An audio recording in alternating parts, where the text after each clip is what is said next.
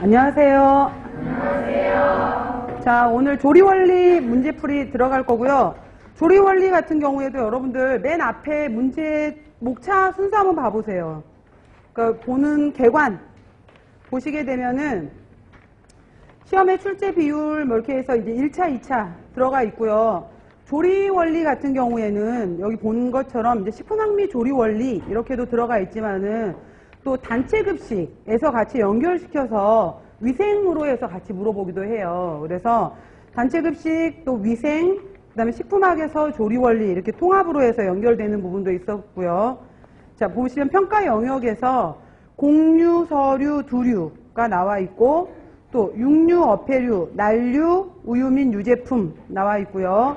과일, 채소, 해조, 버섯류, 그 다음에 당류, 유지류, 조미료, 향신료 이렇게 나와 있는데 자, 전체적으로 여러분들 조리 같은 경우에 공부하고 나면은 그래서 조리 원리라고 되어 있지만은 조리 원리도 더 엄밀하게 말하면 사실 요즘에는 뭐 조리 과학 그다음 아니면은 실험 조리 그다음에 뭐 조리에서 또 들어가서 가공 뭐 저장학 이런 데까지 쭉 연결이 되잖아요. 그래서 조리로 들어가는 부분이 절대 쉽지 않잖아요. 그래서 부분들이 굉장히 좀 어렵게 나올 수 있는 것들이 과학이다 뭐 이렇게 나오기 때문에 이쪽이 이제 식품학, 식품화학적인 기전을 가지고서 물어보는데 실제로 또 여기에서 요즘은 이제 정말로 그래서 조리를 어떻게 하는지 알고 있느냐까지 해서 또 물어보기 때문에 범위가 굉장히 화학적인 것부터 실제 조리하는 부분까지 범주가 좀 넓게 나오는 파트인 것 같아요. 그래서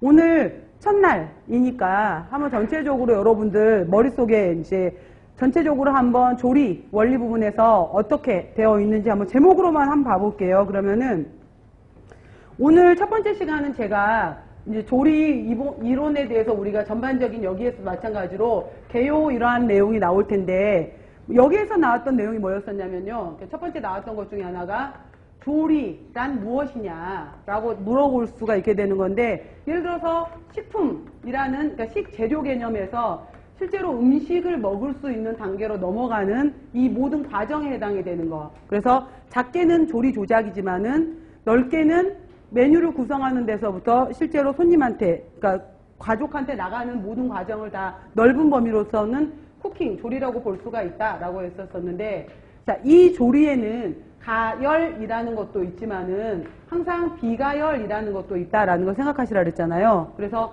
이 조리의 목적, 조리 왜 하는데? 라고 하게 되면은 영양적으로, 여러 가지 기호적으로, 위생적으로, 관능적으로, 또 환경적인 목적을 가지고서 해야 되잖아요. 그래서 이러한 여러 가지 조리의 목적, 이런 내용도 나오게 될 거고요.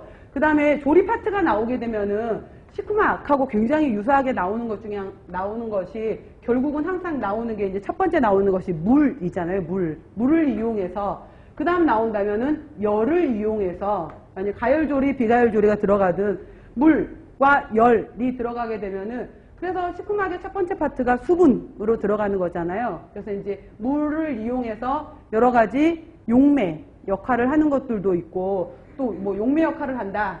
뭐 이러한 역할, 그 다음에 용액이 되고 뭐 이러한 과정에 대해서도 나올 수 있고요. 그 다음에 이 물 얘기가 나오게 되면 식품에서는 자유수 결합수 얘기가 나오게 되면서 자유수에 해당이 되는 것이 AW잖아요. 이 AW를 가지고서 결국은 식품을 오랫동안 저장하기 위해서는 당장법, 염장법, 이런 여러 가지 삼투에 대한 이야기가 나올 수 있는 부분의 얘기도 나올 거고요.